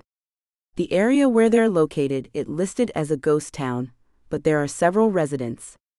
I think they're calling it a ghost town to keep people out. Yeah, there are a few polygamous setups out there. Be careful. They don't bother anyone, but they also don't like to be bothered. Makes sense. My hope is that I can get the woman I'm looking for out soon, so I can get home. Keep me posted. I'll look for places in Utah where the woman you rescued can get help. If things get bad, give me a call. I'll give you a hand. I checked my email and saw that I'd received a response from the Church of the Divine Fracture. Greetings. Thanks for reaching out. First, we want you to know that we are not a church in the traditional sense. We are a community focused on using collective consciousness to level up in life. What does level up mean? It means moving beyond the drudgery of day to day life and embracing a higher calling. Our services are private, but there are still opportunities to learn about our community. We would love to share our vision with you. We are having a revival soon. If you would like to know the time and location, contact JC. Short and sweet. The email for the enigmatic JC was listed at the bottom of the email. The most noticeable thing was that there wasn't an invitation to the church. Faith communities typically invite strangers to their services, but the Church of the Divine Fracture was inaccessible to the public. I looked at the time. It was only 7:30, but I was eager to talk to Loretta. I closed my laptop and headed to her room. Was it too early? Probably not. She'd been anxious. It was likely she'd been tossing and turning all night. I tapped on Loretta's door and waited. A few seconds passed. No answer. I knocked again, this time louder. Loretta. Is everything okay? I called through the door. I put my ear against the door. Silence. What if something had happened to Loretta? I rushed to the front desk. The clerk was tapping on her phone, a bored look on her face. Hi. I need help. If you need towels or a toothbrush, no. I need someone to check on the woman I booked a room for last night. I think she's missing. We can't really just go into someone's room. There's no moment. I need a welfare check now. The girl shrugged her shoulders, dropped her phone onto the counter, and headed to the back office. She came back with a key and motioned for me to follow her. We went to Loretta's room. The clerk knocked twice before using the keycard to open the door. The curtains were blowing gently in the wind of an open window. I rushed in. Loretta. Loretta, are you here? I checked the bathroom. Empty. I rushed past the clerk and headed to Brady's room. I nagged my fist against the door. Brady? She's gone. He pulled open the door. Loretta is gone. What? We need to find her. You think she went back? I don't know how she'd get there, but we have to check. We headed back to where we'd seen Clem, but she wasn't parked there. Heading back through Lund and traversing the other side of the ghost town, the jeep sped over the sand, kicking up dust. I think I see her up there, Brady said. Clem was outside of the trailer with the dogs. I don't take company on a regular basis. Clem said as we parked next to her Willys. Clem, we need your help. Again, Yes? Please. There was a woman. Red hair, dirty dress, very thin. Have you seen her? Clem was cooking a steak for breakfast. She flipped the meat and said, I saw you at the storage containers. You did? Yep. I wasn't the only one. There are eyes everywhere. And you have to remember that these women want to come here. They don't know what they're getting into, but they come here and even the ones that tell you they want to leave are conflicted. Clem cut off two pieces of the steak and tossed them at her dogs. Yes. I've seen her. Yes, she's back. I saw the leader bring her in this morning. No fussing or fighting. She just went back into the storage container. I looked at Brady. He shrugged. Listen here, Missy. This is how things are out here. You're playing with fire. There have been trucks coming and going lately. There are a few companies out here, but they don't have that much traffic. That preacher has something big going on. Best not to mess with him. We're getting Loretta back, I said.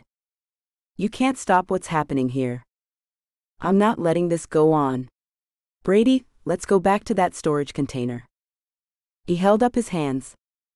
I know you're upset, but we can't let emotions take over. Going to the storage containers right now is a bad idea. We need to go back and make a plan, Brady said. He's right. Clem said. This man has a hold on them. We need to regroup. They were right. I was frustrated and ready to bring the case to an end. I also was upset that I'd left Loretta alone. Initially, I was going to have her stay in my room, but I wanted to give her some privacy. She'd been through a traumatic situation. Big mistake. We need to find out where the revival is going to be held. In Lund proper. Clem said. They have the revivals in Lund? Yep. Right near the trailers we saw the last time. They set up a bunch of chairs under a tent and a makeshift stage. We need to go.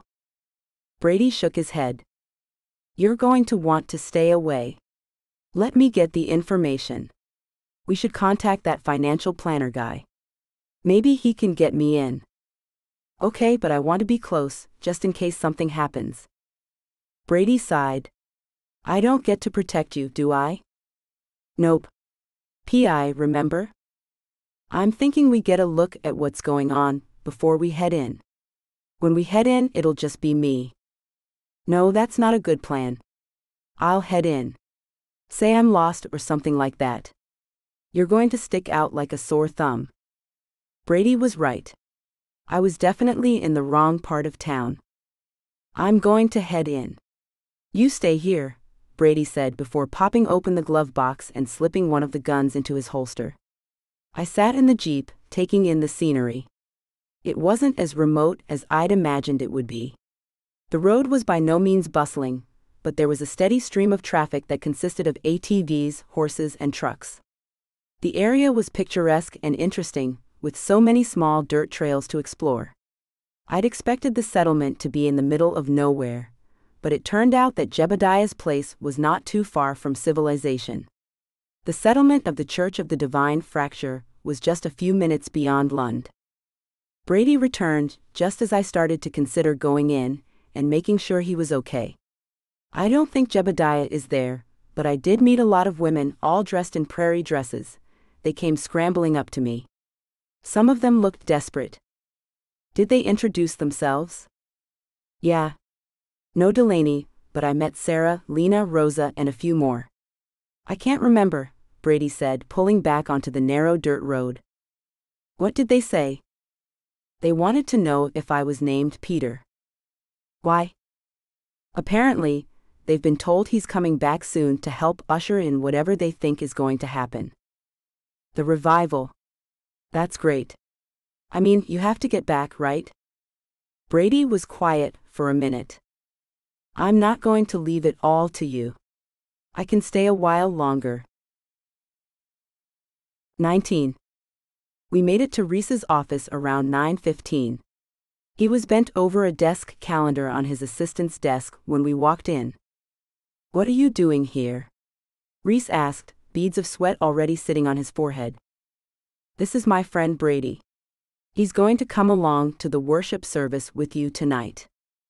No. Some strange guy isn't going to go over well. I'm ready to learn all about your church, Brady said. Reese looked at Brady. His eyes were enormous and confused. Who the heck are you? A new friend? Brady let out a chuckle. I was enjoying how disturbed Reese looked at the thought of Brady going to the revival with him. I don't know anything about what you want to know. I told you I just go for the positive message. You've been out there since the last time we spoke. What did you see? I asked. Reese fell back in his chair. It's not what you think. Julia probably thinks you're in some business meeting when you go out there, doesn't she? Leave my wife out of this. Listen, everyone wants to be there. It's not your business if people have different beliefs than what you deem appropriate. What about Loretta? How do you, never mind. Here's the deal with Loretta. She's crazy. Doesn't know what she wants, and now she's upset and causing trouble. If you know Loretta, you know Delaney. Is she going to be there tonight? I'm a good man. Why are you doing this? Answer the question, Reese. I think she might be there, but she won't be speaking. And why is that? I don't know. Women can be fickle. Especially when they're in an abusive relationship. Fearing for one's life can lead to indecision. You're putting words in my mouth. Don't think I'm some type of monster. Brother Jebediah has to tend his own house the way he sees fit. Including beating women? He doesn't do that. He's special. Is he? Brady said. Reese nodded his head. Things are more complicated than you can comprehend. Like a 10% return on a phony mine? I said, referencing the fake investment Reese tried to sell to me. We're working on getting the mine up and running. But it's closed at this point, right? You need the money to get started, but you're selling it as something people will see a return from immediately. Planning for the future. All investors will get their money back, and then some. Sure. Anyway, here's the plan. You're going to sit next to Brady tonight. At some point, you need to find Delaney and give her a note. I don't know this woman. Well, make a friend tonight. Do whatever you have to do to get the note to her. We used the rest of the afternoon to plan how we were going to get Delaney out of the compound. The hope was that Loretta had told the truth about Delaney wanting to leave. I'm going to head in. You stay here, Brady said before popping open the glove box and slipping one of the guns into his holster. I sat in the Jeep, taking in the scenery. It wasn't as remote as I'd imagined it would be. The road was by no means bustling, but there was a steady stream of traffic that consisted of ATVs, horses, and trucks. The area was picturesque and interesting, with so many small dirt trails to explore. I'd expected the settlement to be in the middle of nowhere, but it turned out that Jebediah's place was not too far from civilization. The settlement of the Church of the Divine Fracture was just a few minutes beyond Lund. I went to the window and peered across the desert. A few people were standing around, waiting for the sermon to begin. At five o'clock, the crowd began gravitating toward the folding chairs. I didn't see anyone that looked like Delaney. Reese and Brady were standing together near the stage. Ten minutes after five, the revival got underway. The first part of the service included members who headed to the makeshift pulpit and confessed their allegiance to Jebediah Christensen. The first woman waddled up to the microphone, her belly bulging, making it difficult for her to climb the stout steps that led to the top of the stage. Her hair, braided and flowing down her back, was limp and dull. A train of women stood behind her, waiting to proclaim their certainty that Jebediah was in contact with Source. Brady was able to stay in the back of the meeting and listen to the sermon. After the women, two men testified. The audio was muffled, but I was able to make out what was being said. The government wants to take our money and control our lives. They want to stop us from living a righteous and true life according to the laws of the Lord. We will not allow them to stop us from ushering the greatest glory of the world. The crowd clapped and cheered. Two more women followed, giving speeches that were similar to the first one. Then a man with thick wavy hair and piercing brown eyes took the stage. His back was straight, and he held his head exceptionally high. The crowd was still and silent. A light wind blew his shoulder length hair around his head, creating a loose halo. Brothers and sisters, time is running out. We need to be ready for the second coming. When it happens, we must be ready for the next step. There won't be time for us to prepare once the heavens open and the calamities have started. The city must be built, and it must be sustainable and ready to house those who are worthy. When the seven seals open in the sky, will you be ready? Think about what is happening.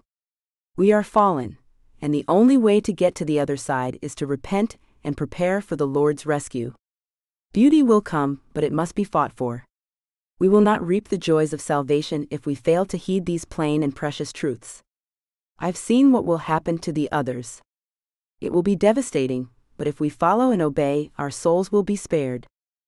It's almost time for us to rise up and conquer, and take our rightful place in the world. If we do this right, we will all be able to tap into the collective consciousness, and we will be born again through our minds.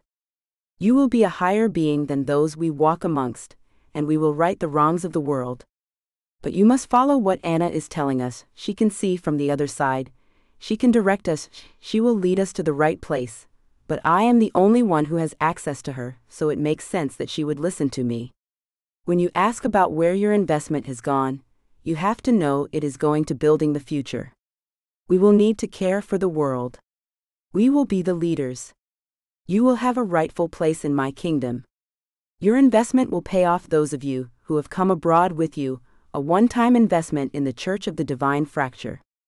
You will be rewarded by asking yourself who is happier than us living here, amongst nature, taking care of each other, being self reliant.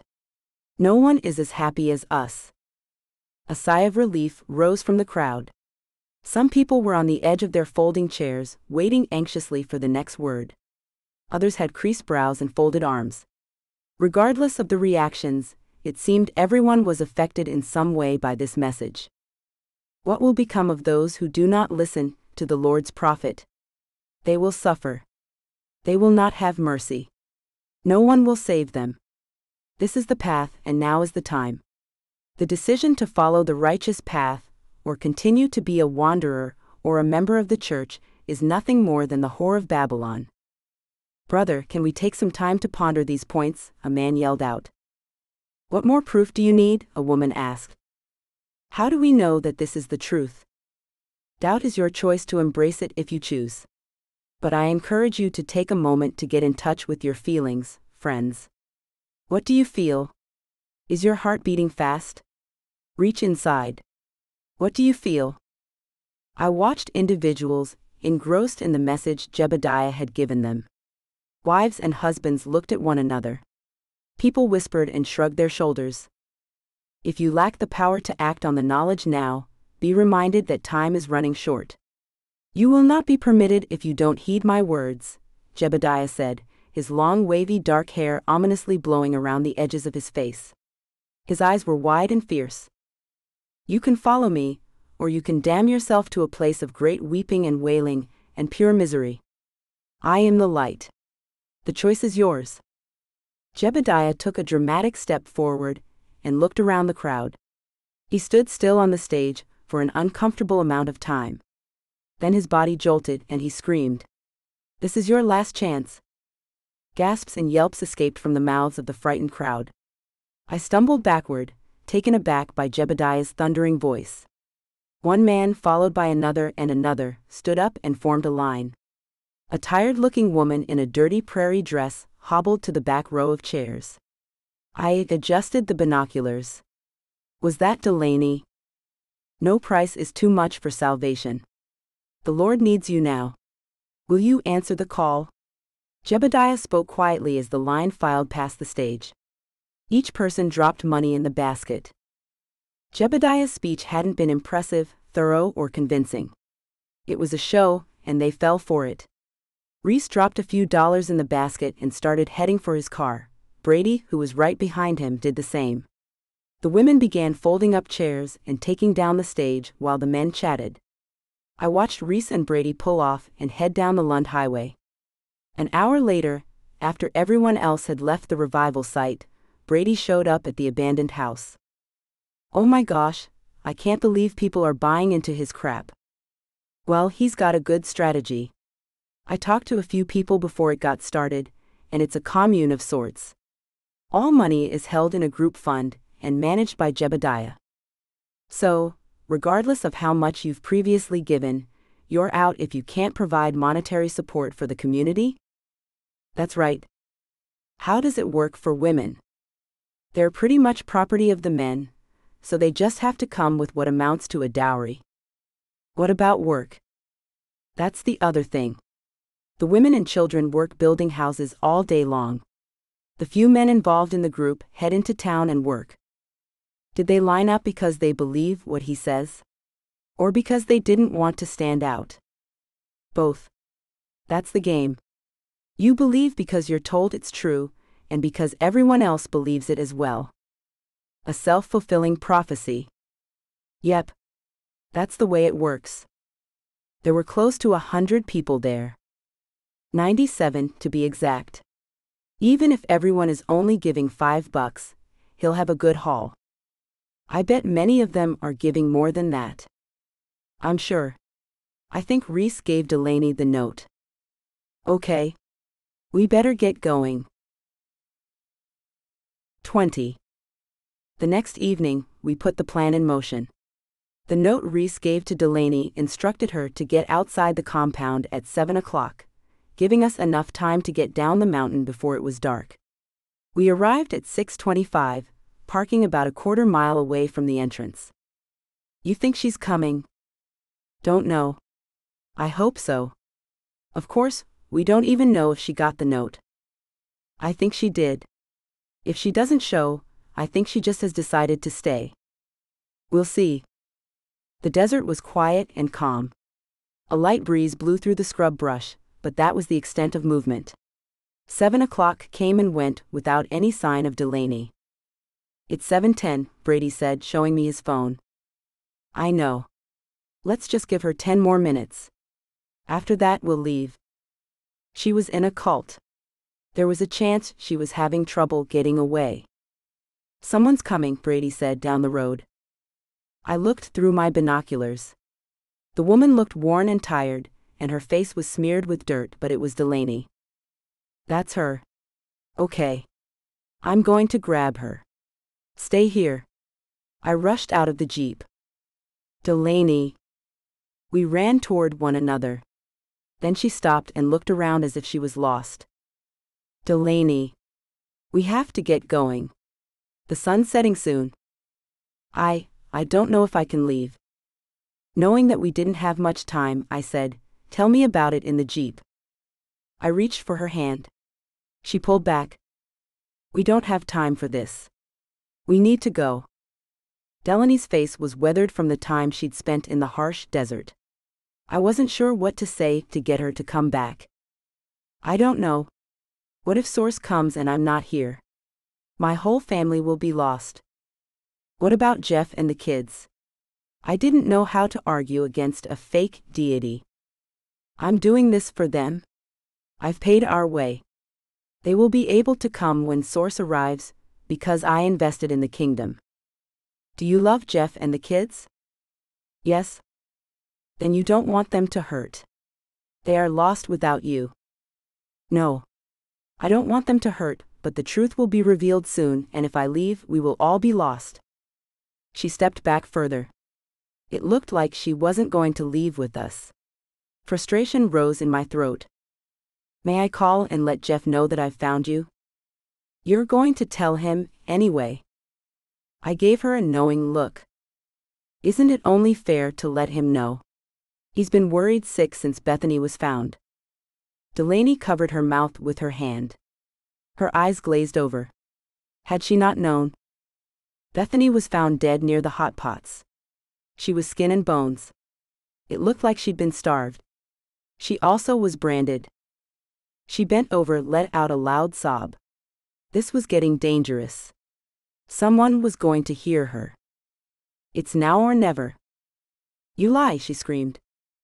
Delaney. Bethany is being punished for disobeying, but she will be back as soon as she remembers why we are here. You lie to take away my salvation. We better roll, Brady said. I think I see someone coming from the compound. Last chance, Delaney. I held out my hand to her. She took a swipe at my hand with her fist. That was it. She wasn't coming with us. Great. I will tell Jeff I found you and that you're alive. I hope Loretta is still alive. Loretta. Delaney's voice was suddenly faint.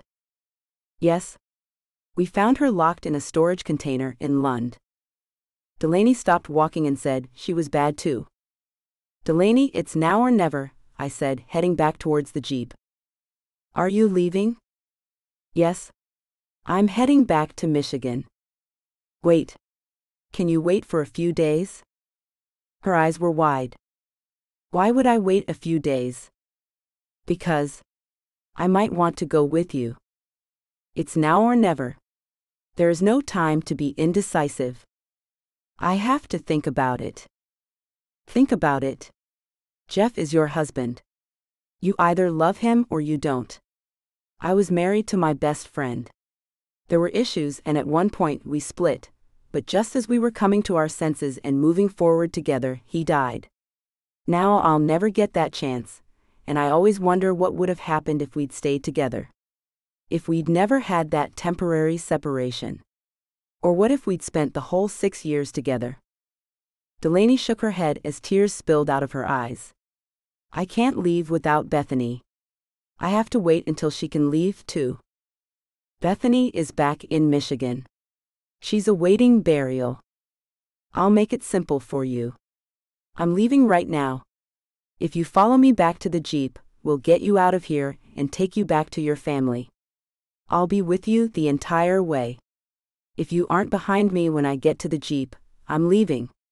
I watched her eyes dart around the desert before turning to leave. The temptation to look back was strong, but I resisted, walking straight to the Jeep, opening the door and climbing in. She's not behind me, is she? I asked Brady. He shook his head, what are we going to do now? We leave. I gave her the ultimatum. She knows what this means. Are you sure? Go, I said.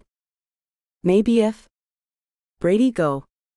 He hesitated for a second, but we were on the Lund Highway within a few minutes, headed back to Cedar City. How are you going to break it to the husband?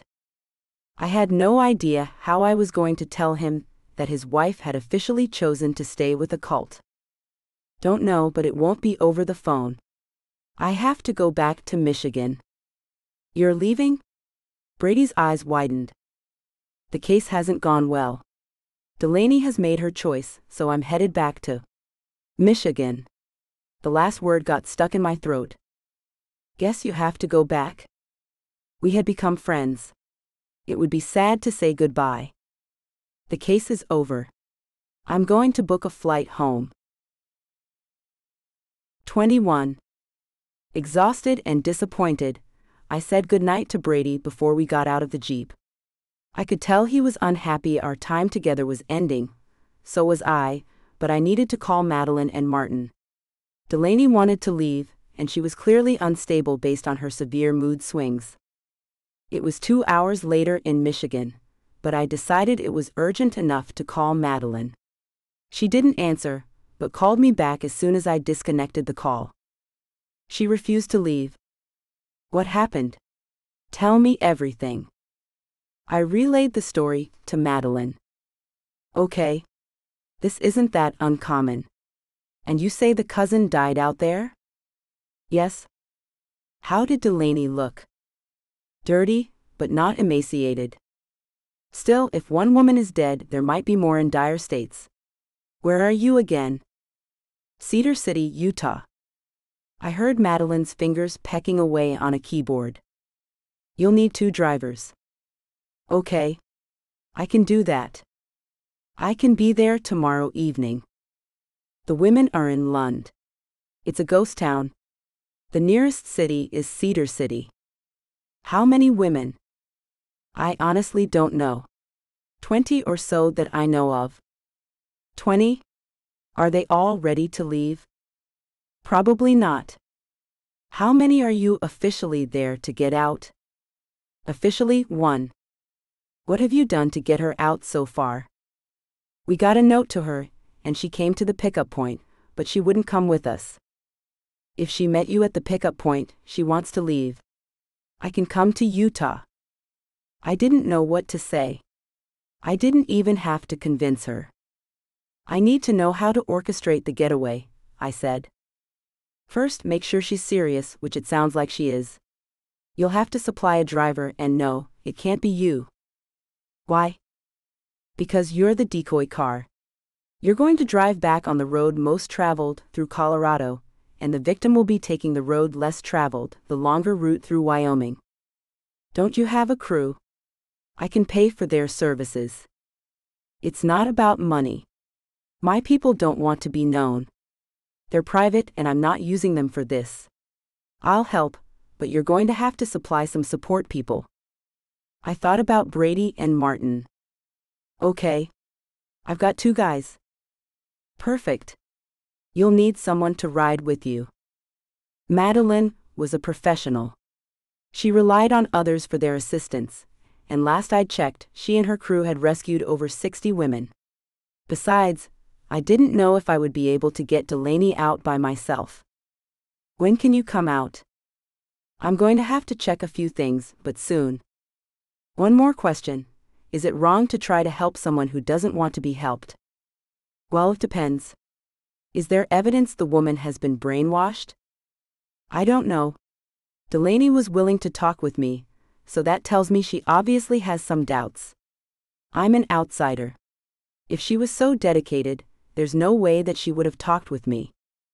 Maybe she feels forced. If she believes that this is the only way to gain salvation, she might be afraid to leave, but she met you for pickup, so she wants to leave. You just have to be tough. Make it urgent. Madeline told me she'd call me back the next morning with details. I called Martin after we got off the phone. I've got a flight booked. I'll be landing early in the morning. Okay. I'm going to head downtown and book a room. Call me as soon as you land. I headed to Brady's room. There was a little flutter in my stomach. Focus, Wilcox, focus, I told myself. This isn't the time for you to have a crush. Brady opened the door and said, You okay? What happened? I'm not leaving yet. There's one more thing I want to try. Okay. What's the plan? My assistant, my brother in law, well, former brother in law, I guess, and someone who works these kinds of case are coming out to help. Madeline will be here tomorrow, and she'll fill us in on the plan. All right. We better get some rest. If you're sticking around, you must be confident this lady can get her out. Absolutely confident that Madeline will get Delaney out, I said. My hope was I'd believe that statement by the time Madeline and Martin arrived. Madeline's flight landed at noon, and Martin was in town by 2.30. I thought they'd both rent vehicles and drive up, but Madeline said she'd wait for Martin. I want a certain vehicle, and the moment we get this lady, we're hitting the road. She told me after arriving in St. George. They arrived in Cedar City at 4030. Brady and I were ready to spring into action. Since Madeline had done this dozens of times before, the three of us waited for her instructions. Sylvia and Brady, check out of your motel rooms. It'll be the first place they check. I thought about the note William Steen had left on my windshield and nodded my head. They knew where I was. After that, check in another motel near Lund. We won't be staying the night, but we need a base camp for the next couple of hours. Madeline said. Look for a place that rents by the hour. If possible, find one that takes cash. No one takes cash anymore. Martin said. They do. You just have to offer it to the right person. This thing needs to happen fast, and if Delaney is unwilling, we have to leave her. We don't know what the consequences will be if we get caught trying to remove her, so let's not find out. We're doing the pickup just outside of Lund, in a wash. You talk to your guy on the inside? Madeline asked. I nodded. Yes, Reese will bring Delaney to the desert and drop her off. You trust that guy? Martin asked. No, but I trust that he doesn't want my telling his wife what he's been up to. Madeline continued without missing a beat. Sylvia and I will be there to receive Delaney. Boys, you're the drivers, so pay attention to what's going on. We might have to talk with her for a few moments, but this needs to be quick. She needs to get into the van, which Martin is driving. Brady, you will be in the Jeep. This is important because we need you guys to lead any potential usurpers on a wild goose chase. Don't look back. Just take whatever trails lead away from the main roads that you can get to. I know plenty of them, Brady said. Great. The hope is that Delaney just gets into the van. If she doesn't, Sylvia, we're cutting off the communication after three minutes. At that point, we'll just tell her to get in the van, or we're leaving her in the desert. We need to be careful as well. Everyone needs protection. Keep your eyes open. There are some other groups out in the desert. Anti government groups, and random hodgepodge sovereign citizens and people that really don't want anyone to know they're present. We need to steer clear of them. There's no real cover out there except for dilapidated buildings. Right? So we wait until Reese gets to the wash. If someone is watching, they're going to see us, so we can't worry about that too much. Just be ready if something happens. What does it mean to be ready? Martin asked. It means that you'll be in a desert. If threatened, be ready to defend yourself. You're armed, right? Yes. Don't hesitate. Is she telling us to kill people? Martin whispered loudly. No. She's telling you to be smart. I said. Does that including killing people? Is he going to be a problem? Madeline asked, her voice filled with frustration. Never. I trust Martin with my life, I said. Great, but it's me that has to trust him. You'll be riding around with your cowboy. Brady shook his head and laughed. Okay. We've got a few hours before this goes down. Make sure that you're properly watered and fed, but there won't be bathroom breaks, so don't overdo it.